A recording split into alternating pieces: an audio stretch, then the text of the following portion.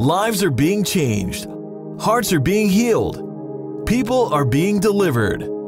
At www.redemptionglobal.com.